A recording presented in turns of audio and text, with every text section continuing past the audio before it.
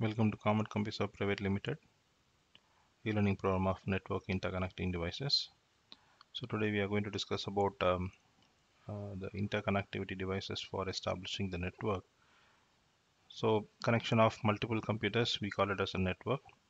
But uh, for connecting those computers locally or over the globe or uh, remote areas, we need the cables and connectors.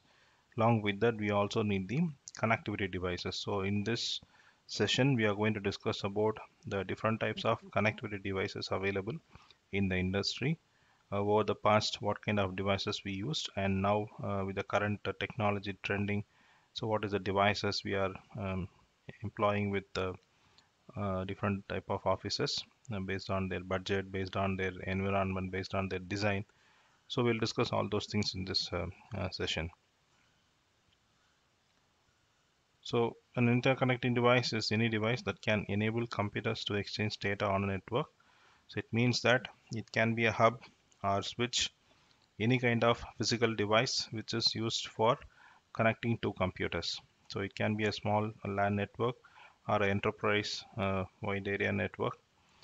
Definitely we need a, a connectivity devices. So LAN we use switch or hub. case of WAN we use router but it is an interconnecting device. So it is going to be the backbone of a network because um, it's a network infrastructure we call it as backbone of a network. So without which we will not be to establish the communication with the remote offices. Our office will get isolated if the link is down if the device is down and we will not be able to do a kind of transactions with the other offices so that is the uh, importance of having uh, network interconnectivity devices. So normally we had hub, repeaters, bridges, switches, routers and gateways. These are all the uh, common devices we use as interconnectivity devices. And some of them are very old, which is not used uh, in the industry. But most of the devices we are currently using in the industry. Uh, let's start with hub. Uh, hub is a small device where um, it is helping us for connecting a limited number of um, uh, ports. Maybe uh, we started with four ports and then later 8 16 uh, 24 ports. Not more than that uh, we go for connecting hubs. So normally 10 to 15 systems we recommended uh, with the help of hub. Sometimes uh, we used to cascade the hub like one hub with another hub uh, if at all I have more number of systems. Suppose I have 20 systems or 30 systems. I have 8 port uh, hub. So what I can do is I have to use a uplink cable to connect multiple hubs together so that I can connect all the 30 systems in a single um, office. So here uh, we recommend to have 10 to 15 systems as a single network. If you expand more than that what happens is um, because these are all not intelligent devices like uh, your uh, switches or routers so they will not be able to uh, pass on the informations quickly. And uh, this is running with 10 mbps or 100 mbps uh, not more than that. So uh, obviously will not have good communication between the system or possibility of sending and receiving the data will be very less. So that's the reason we um, stopped for a limited number of systems with 5 or 10 systems it is good um, uh, for a kind of uh, lab setup internet browsing center or university college labs uh, computer lab or department lab lab. So those places we can use this kind of hubs where you'll get 100 mbps speed and a good communication between the devices. So it doesn't have any intelligent device so it, it passes on the information from one system to other system we have CSMA by CD, CSMA by CA, carrier sense multiple access with collision detection. CSMA by CA, carrier sense multiple access with collision avoidance. These devices falls under uh, CSMA by CD because it detects only the collision, but it cannot do anything with the avoidance and all. So uh, obviously, um, it it falls under uh, low communicating device compared to other device it, this operates on a physical layer and um, uh, this doesn't have any kind of additional features like uh, filtering the data or uh, filtering the package from source or destination. Those kind of segregations it cannot do. It can just do a um, catch and dispatch kind of job. So hubs, um, we connected um, different systems in hub. We call it as a star topology normally, and um, hub and spoke also. We we can also call it as a hub and spoke method because uh, in cycle we have hub and spoke, right? So in the same way, the connectivity device will be in the middle, middle, uh, or in the sense it will be in the center of the office.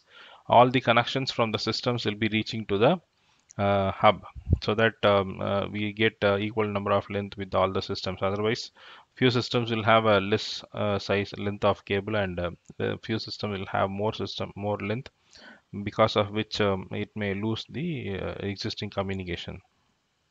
So though it is called as hub and spoke if at all I have multiple um, hubs available department wise I have to connect so I may go for a hierarchical level of uh, connection, right? Um, connecting two hubs. I'll use another hub for um, connecting both the hubs. So this is the hierarchical way of connecting uh, hub star topology. So we had uh, active hub and passive hub. In the hub itself, we have two classifications. So in case of active hub, it is able to amplify and regenerate the information signal. So whatever it whatever it is receiving as an input, it will be able to amplify to the destination port. This has advantage of um, amplifying the incoming signal, so uh, it can uh, it can forward to the multiple devices. Normally in hub, so there is no advanced mechanisms like switch, so it sends the information to all the ports, all the uh, to the, all the systems. Then uh, the respective system will acknowledge, the rest of the systems will deny. So that is how uh, hub will be communicating. That's the reason we get more collision domains in the uh, hub. So if at all you have eight systems, eight ports, you will have eight collision domains. In case of switch, you will have only one collision domain. So that is the advantage of having switch. Um, so this hub is also known as a multi-port repeater because it is amplifying the signal uh, in a better way. So it is also called as a multi-port repeater. Passive hub less than the capability of active hub so it is just a, a dumb terminal for connecting multiple systems. You, you cannot even expect quality nature of uh, active hubs in the passive hubs. So there may be difference in the rates in the olden olden time um, based on the uh, requirement they have purchased this kind of hubs. Advantages uh, less expensive compared to the next level devices. So covering the distance maximum 100 meters not more than that. And um, in the hub side no processing is done. It is doing only catch and dispatch so it will be uh, faster. Disadvantages um, it doesn't have any intelligence to uh, filter the traffic no switching table no uh, MAC address filtering all those things it will broadcast to all the ports which leads to in inefficiencies and wastage. So that's the reason we call it as a collision domain so it sends the data to all the systems wherever it is not required also. Um, if suppose 8 port switch 8 port hub is available and one system is triggering the data to other system in the among the eight systems. So this one system will send the data to all the other seven systems leaving the uh, source machine. So all the seven systems will get the data whoever is wanted to get the data they will consume it and um, they will retransmit the acknowledgement. So that is how uh, the hub transmission is happening. And uh, we call in individual port we have a collisions right uh, between the data there will be collisions occurring. And that's the reason we had slow transmission of data in case of hubs. So repeater so advanced form of hub is a repeater so it is um, used in case of uh, long distances like you have a campus area network or a factory uh, network where you wanted to ex extend uh, a few kilometers and all right? So in that case we'll have to go for having a repeater. So we'll be giving the input. The repeater will amplify the signal and uh, it will retransmit the same data in a good manner Normally in case of cable TV communications, you would have seen uh, they will install the repeater after four or five streets so that um, any signal is reaching uh, after a lot of transmission losses. From that uh, street, that home, the booster will be there. It will boost the signal and uh, next people, set of people will get good uh, communication of uh, the cable TV. with good clarity in the pictures, right? So in the same way, repeater is also established wherever there is a requirement after certain distance so it will just receive the data amplify the data if there is any low volume of signals. It will amplify uh, with the higher uh, uh signal and uh, it will help you to retransmit the data in a good manner. So that is the purpose of having a repeater. So receiving the data it works in all the layers.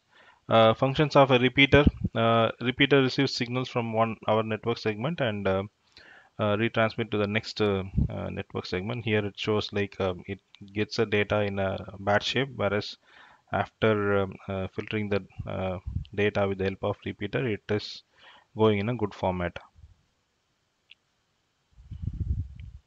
So repeater forwards every frame. It has no filtering capability. It doesn't have any intelligence to uh, filter the uh, frames. Uh, so it is working in the data link layer and operates with the help of frames. So it can extend only the physical length of the network, not a logical connection. But it can be used for extending your uh, physical connection. Like in a factory, you are establishing another network. So you can put one repeater, and then beyond that, you can have one hub or switch then you connect the systems to the hub advantage it, it is helping to extend the length of the network strengthening the weak signal and removing the unwanted noise so data transmission may happen faster. It has no filtering capability. It cannot connect to different architecture so it can support only ethernet or any other specific architecture not as a combined one. Uh, number of repeaters used should be less. Since it is amplifying we cannot go for adding hundreds of repeaters there should be some five or six less than 10 otherwise no uh, the purpose of having repeater will be wasted. Next one is is a bridge so bridge is normally a device which is used for connecting to a separate network that is ethernet network only both of them are internet i mean ethernet so it will be helping to connect both the ethernet network so bridging occurs at the data link layer. It works in the layer 2 of OSI layer and um, it is helping to um, read the data in a better way compared to other devices. Uh, the hardware address is also read from the data which is called as a MAC address media access control. It will be capturing all the details about the packet which is, is receiving. Function of a bridge when the frame enters in not only regenerates the signal it receives so bridge will be regenerating the signal. Um, whatever data it gets, it will be uh, regenerating so that um, if there is any uh, weaker part, so it will get uh, rectified. And uh, it is also checking the source and destination address of the frame. Um, so from which system it is generating the data and where it has to uh, delivered. So both source and destination information is available and it maintain, maintains a table um, with the details it will be marking in the table itself and um, it is sending the data to the concerned uh, system right? So not like hub. So one transmission it's get transmitted to multiple system but in case of um, bridge it will have destination address so directly the communication happens between the endpoints. From here to that another endpoints.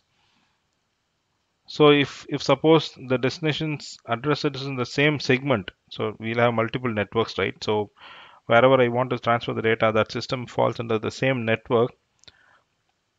So it will be identifying the data from the uh, table and uh, uh, shares information to the particular system. If not, it will go for forwarding the frame to the next segment and find out whether the matching destination is available in that place or not. So this is how a bridge operates. So it helps to connect uh, multiple networks together. Advantage. So bridge it's a form of device which is um, released before the switch is getting released so you can see the features uh, which is similar to the switch which is available now so it minimizes the unwanted traffic and it acts as a filter. So there will be when only specific traffic is going from uh, the particular system to the other system. It will not be sending the junk data. And it minimizes the network congestion. Uh, error links can be easily identified with the help of uh, the checksum uh, details. And um, it helps to lower the data load over the data link layer. So uh, all these things adding adding the advantage with the uh, uh, device. And um, it is giving the benefit to the end user. Disadvantage the speed is slower than the repeater but it is faster than the routers. Because it is doing very specific process uh, of sending the data from source to destination so this thing this can be done faster compared to other uh, uh, service providers so cost is expensive than repeaters, but a bit, bit cheaper than uh, routers. So since it is having advanced technology compared to repeater, it is costlier, but uh, compared to router, it is cheaper. Um, this cannot handle multiple parts. It will handle only very limited parts. So this is the advantage and disadvantages of um, uh, bridge. Switch. So it's advanced form of device which is used for connecting um, uh, multiple systems in a network. Um, so it depends like 16 port 48 port uh, what 24 port whatever the size you are buying. So this can communicate um, uh, with that particular uh, switch in the network. So it is used for connecting multiple um, uh, uh, segments also uh, provided you have routing protocol enabled in the system. And suppose um, um, person in the HR department person in the accounts department person in the um, quality department they wanted to interact. So they'll be able to provide a secure channel for establishing the kind of network connection. So all these things can be possible with the help of L3 switch manageable switch okay? So uh, non-manageable switch we cannot do anything. Uh, we can just use it as a connectivity device so not more than that. So it performs data link layer function that it looks at each packets or data and determines from a physical address.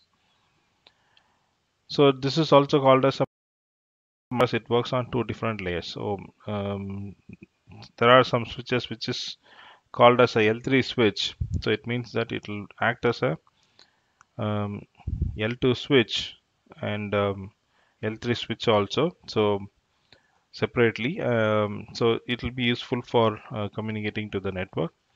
And uh, L3 switch will have some advantage like uh, we'll be able to manage some of the parameters in the switch.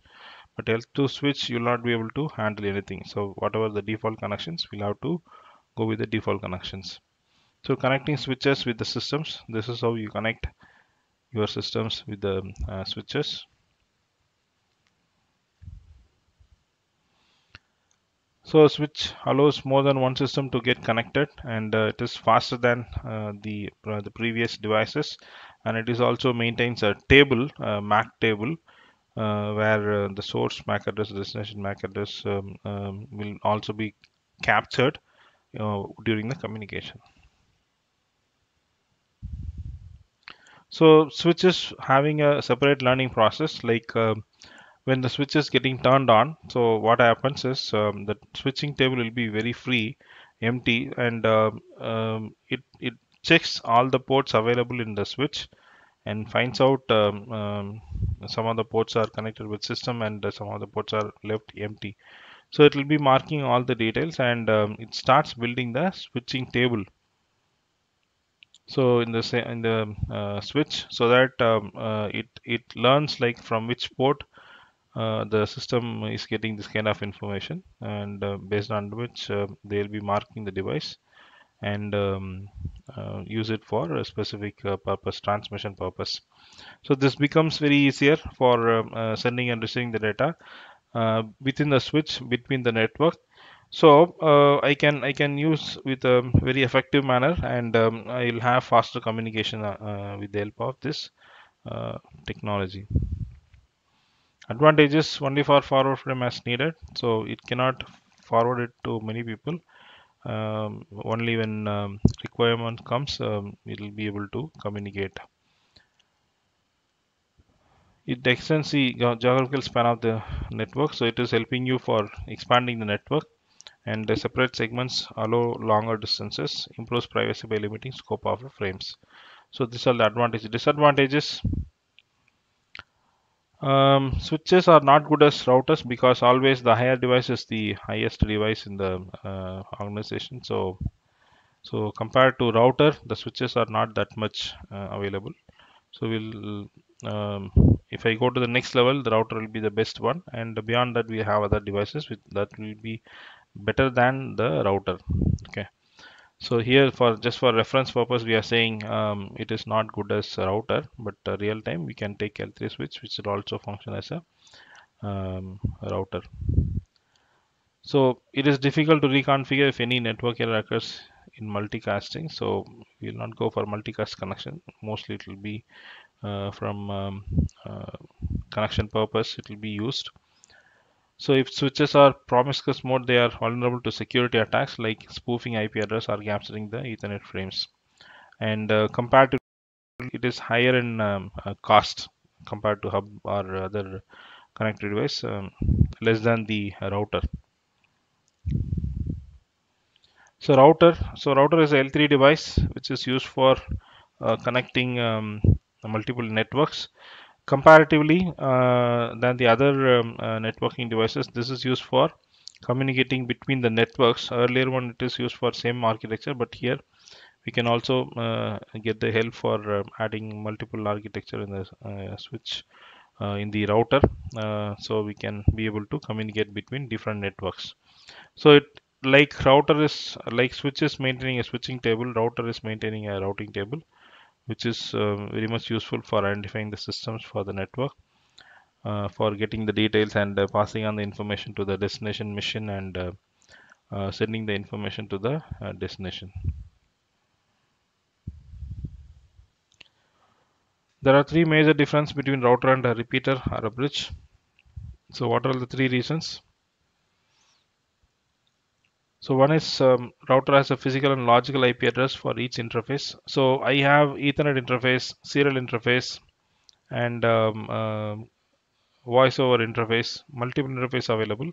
So I'll be having the interfaces um, uh, for individual devices, not like your switch. So that gives advantage, right? Um, it'll have a separate controller and uh, you'll get faster communication. So it works in the layer 3 and uh, passes the uh, network packets uh, to other systems. So advantage easily shared internet, security and adaptability, routers limits uh, the collision to the domain. So there will not be any collisions. Routers can function as uh, LAN and WAN. It can be used for both um, LAN and WAN. So it is used for connecting to different uh, architectures like um, token ring and uh, Ethernet. So if, we, if required, we can use that also. Disadvantage, it is more expensive than other connected devices. Uh, the routing updates, the frequent updates will be sent from this router to other router that is consuming uh, more cost and it is a complicated setup without knowledge L3 knowledge you will not be able to uh, do anything in the router. Next is the gateway, the advanced form of uh, uh, connectivity device. It is a component that is part of two networks which is used for different protocols. So earlier we said different architecture. Now this is for different um, uh, protocol what we have. So normally gateway will be working in all the layers. So that it is um, communicating in all the layers and um, sending and receiving the data uh, from all the systems, all the layers. So it is also forwarding the packet to different networks and uh, trying to find out whether the system is available in that network or not. And then only it is communicating to the uh, devices. So interconnecting devices. So how it is connected? Advantage, the direct linking between internal and external hosts are denied. So in network gateway, the user level authentication or protection is supported and can connect to connect our links to variant networks. So it can connect to different networks so that is not a problem right? So uh, the protocol conversion is done and it handles the traffic problems. So once the protocol is protocol uh, download is completed then uh, it will immediately take up the uh, communication process Disadvantage, it is not an intellectual equipment. Um, router is manufactured by multiple vendors. Cisco router is a famous one. So um, Cisco gateway I mean uh, we can also have different types of uh, devices from different vendors whichever is best for our environment we can um, uh, utilize it so we have reached the end of the topic um, we have covered multiple devices available and uh, each differences. And uh, currently we are using uh, switches and uh, routers for any kind of uh, environmental connections. So we have reached the end of the topic. Thank you very much